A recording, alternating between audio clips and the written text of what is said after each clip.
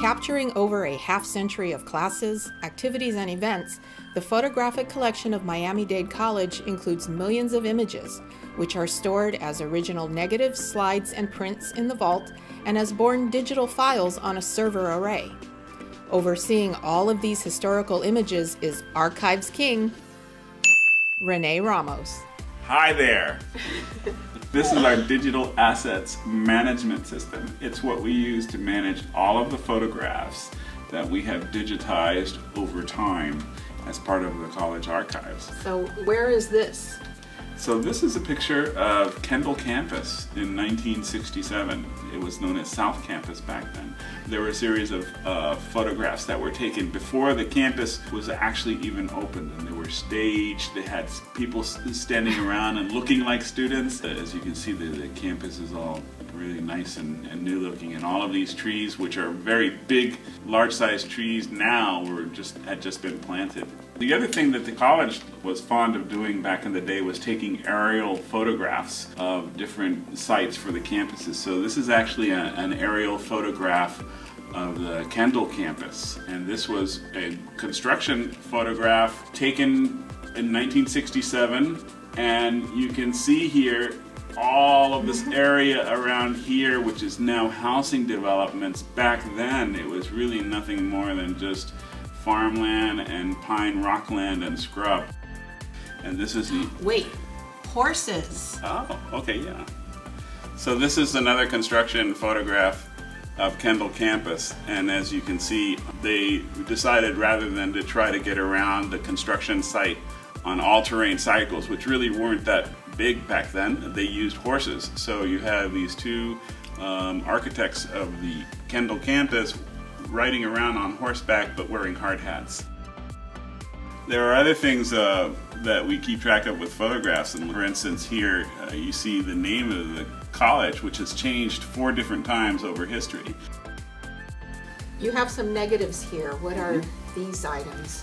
Are you positive you'd like to see them? I'm positively. Well, let sure. me show you the negatives. So, most of the material that we have, the the actual uh, photographs going back to the early 60s when the college was founded. The way that college photographers would document what was happening at the institution was by actually going out and taking um, photographs using film, which was the technology at the time. So we were talking about aerials and aerial photography. College photographers would, get into a helicopter and then they would uh, fly over the sites of the campuses and actually take photographs. What we have found is that photographic negatives are probably the safest and most stable materials that we have in the collection. So whereas we have made digitizing other materials a priority, right now what we're doing with the photographic negatives is we're digitizing them on demand. For instance, when the book fair uh, just recently celebrated their 35th anniversary,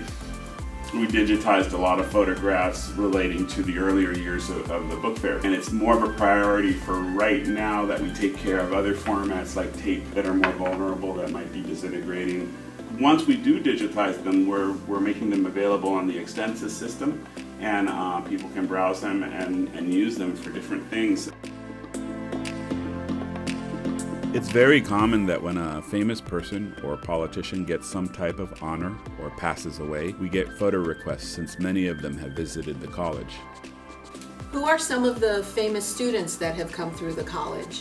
Well, back in 1967, there was a drama student who participated in some plays. And if you look here, you'll see the actual play that he was in. This is a, a proof sheet. You're not going to be able to tell right away who it is. But if I zoom into one of the actual stills that were produced here, to the left here is Sylvester Stallone was actually a student at Miami-Dade College back in 1967. One of the things that we did um, back when we started working on the photographic collection was to take the proof sheets that had been made for each one of these photo shoots that the college photographers did. So the way that these envelopes work is that college photographers would create um, an accession number and they have a description of the event and the client and date information. This has become very helpful over time in cataloging and tracking down photographs. We took the collection of 35,000 or so proof sheets that had been made and we digitized all of those. So what we're able to do now is with the accession number that was created for each of the rolls of film, we can track down a photograph. They've managed to stay in this order for 30 or 40 years, so we want to continue to uh, take care of the photographs and make sure that they're available. But these photographs shot on this type of film and stored in the conditions that we have them in will last indefinitely. As you can see, we do handle everything with archival gloves to prevent fingerprints or other kinds of marks ending up on the negatives or the photographs. We have negatives going through about 2003. After 2003, what happened was the college photographers started shooting digital photographs for all of the events and the um, documentation and the publications that were created for the college. The history of Miami Dade College is well documented within its photographic collection, with both analog and digital images. And eventually, it'll all be digital. Andrea's got to edit. Please edit this out.